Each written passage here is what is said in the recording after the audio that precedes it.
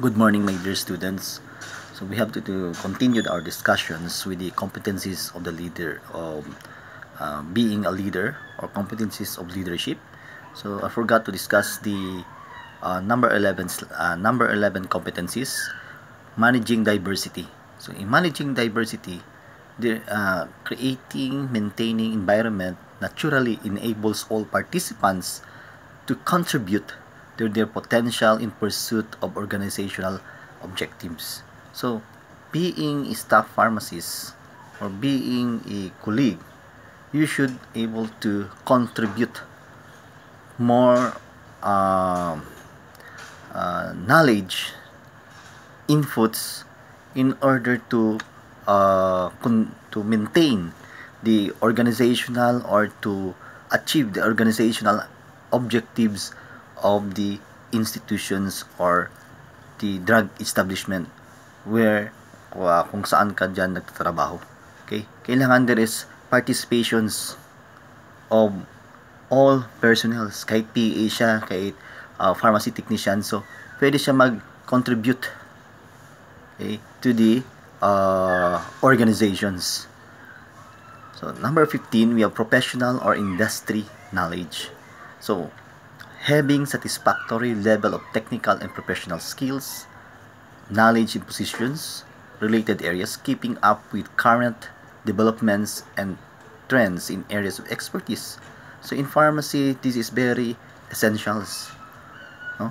Uh, pharmacists have higher technical skills, especially in uh, dispensing process or in drugstores, uh, patient counseling. That is considered to be a patient skills knowledge.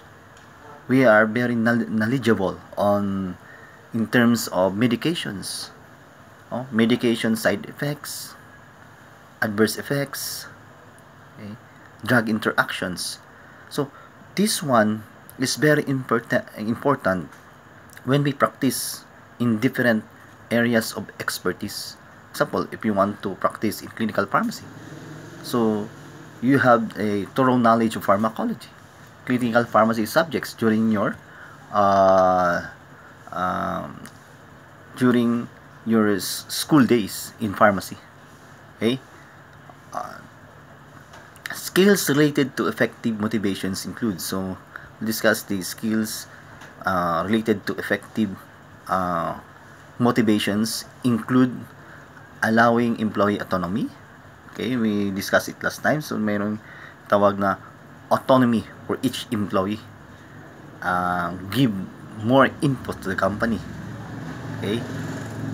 Uh, convincing mentoring or being a leader or being a manager. You have to convince employees you have to mentor or teach them and also openness persuasive providing rewards when they uh, able to uh, achieve uh, or example, nalabot nila yung quota nila.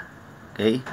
Uh, they have a higher sales for the for this month so you can give rewards incentives setting effective goals team building thinking stuff also so the end of the day you have to thank everything for your staff because the success of the business is not only the success of the leader but also the success of all personnel involved in one business, especially in drugstore, especially in other drug establishment.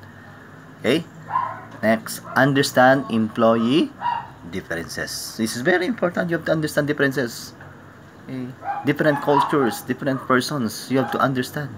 Understanding and respecting each other will have harmonious relationship in a company. Next, delegating. This one, leaders who try to uh, give many tasks to the employees.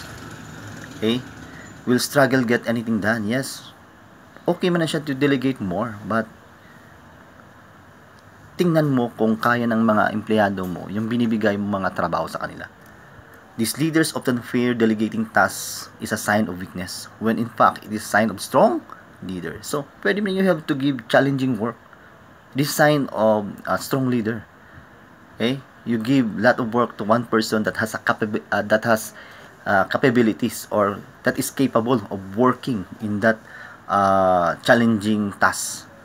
You need to identify skills of your employees. Assign duties to each employee based on his or his skill set. So, mayroon ka ng empleyado na mas sagad sa IT, so you have to assign him in encoding. Example, you are working in, you are the owner of the pharmaceutical distribution process. So, try to see kung saan yung mga specialty ng mga empleyado. Kung IT siya, encoding. Kung magaling siya sa uh, arranging of stocks, um, preparing of orders, so ilagay mo siya doon sa sulod ng warehouse. So, delegating is based on the skills of every employee in your company.